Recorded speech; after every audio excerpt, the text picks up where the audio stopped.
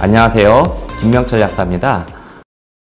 암로디핀의 이제 상호작용을 보게 되면 여기에 치아자이드계 이뇨제, 알파 차단제, 베타 차단제, ACE 저해제, 작용 시간이 긴 질산염 제제, 니트로글린 설하정, 비스, NSAID 항생제, 경구용 혈당 강하제와 병용 시 안전하였다. 이게 굉장히 중요한 부분이죠. 안전하다는 얘기고요. 자, 그 다음에 여기서 와파린의 단백 결합에 영향을 미치지 않는다는 것을 알려줬고, 자, 자몽 주스 이야기가 나오는데, 여기 보시면 20명의 건강한 지원자에서 240ml의 자몽 주스와 암노디핀 10ml의 단회 병용 투여 딱 한 번 병용 투여에는 영향을 미치지 않았다. 자, 이렇게 돼 있지만 밑에서 이 시험에서 암노디핀의 주 대사 경로인 CYP3A4에서의 유전적 다양성에 대한 영향 평가는 이루어지지 않았다. 유전적인 형질에 따라서 이 CYP3A4의 대사 능력이 다를 거 아니에요.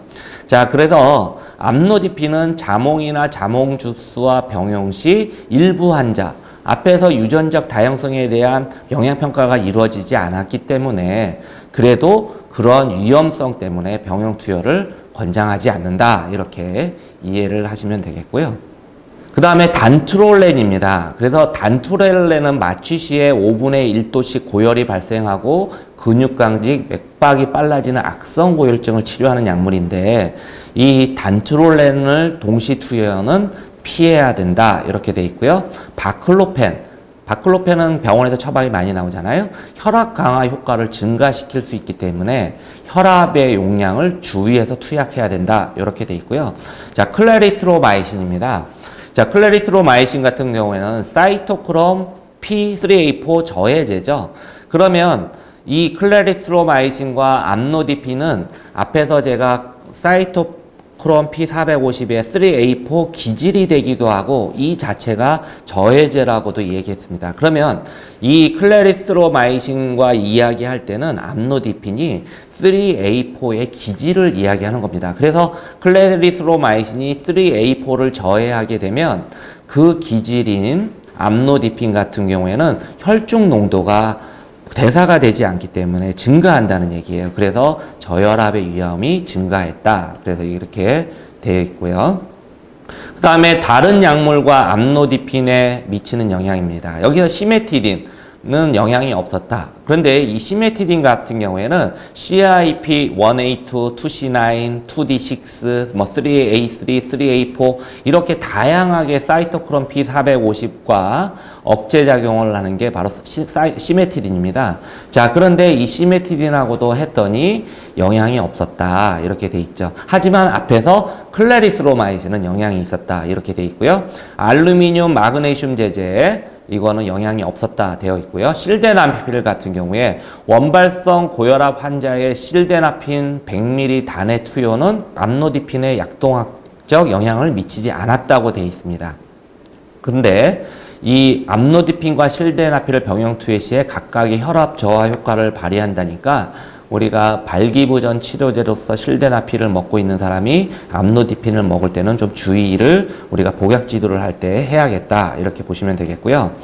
자, 그 다음에 사이토크롬 P3A4 저해제 자, 여기 보시면 고령의 만 69세, 87세 고혈압 환자에서 딜티아젬 180mg과 암로디핀 5mg의 병용 투여는 암로디핀의 전신 노출을 57%까지 증가시켰다. 이렇게 돼 있습니다.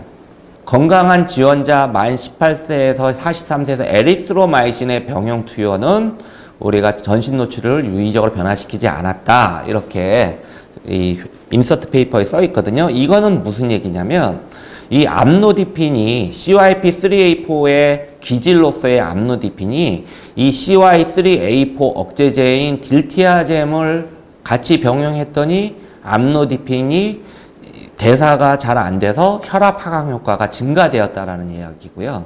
그 다음에 같은 CYP3A4 억제제인 에리스로마이신을 투약하게 됐더니 이 암로디핀이 대사가 좀더 일어나더라. 그래서 이거는 큰 영향을 미치지 않았다. 이런 얘기입니다. 그래서 같은 CYP3A4 억제제에서도 이렇게 딜티아젬과 에리스로마이신은 차이가 있더라 이렇게 돼 있고요.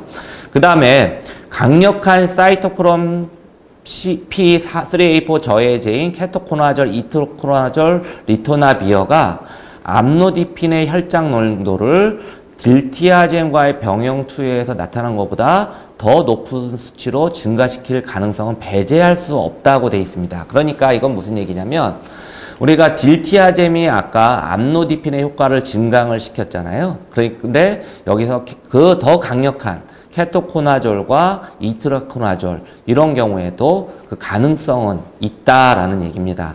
그래서 주의해야 된다. 그래서 이 이트라코나졸과 병용할 때 암로디핀의 농도가 증가될 수는 있다. 이렇게 돼 있는데 하지만 여기에 대한 이상 반응은 보고된 바는 없다. 이렇게 설명서에 돼 있고요. 자, 그러면 이번에는 CYP3A4 유도제입니다. 리팜피신. 그 다음에 Saints, Saint John's wort라고 해서 성요한풀이 있죠. 이런 경우에는 암로디핀이 이 리팜피신과 약물을 병용 투여할 경우에는 암로디핀이 대사체로 되기 때문에 원하는 바의 암로디핀의 효과를 나타낼 수가 없겠죠. 자, 그런 경우에 여기에 보면 병용 투여는 암로디핀의 혈장 농도를 변화시킬 수 있다. 이렇게 돼 있습니다. 그래서 용량 조절을 고려해야 된다. 그러면은 이럴 경우에는 용량을 좀 더 올려야겠다라는 생각을 할 수가 있을 것입니다.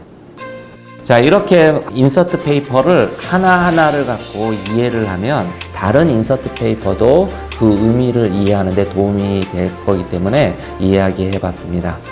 약은 동네 약국 선생님들과 상담 후 복용하세요. 끝까지 시청해 주셔서 감사합니다.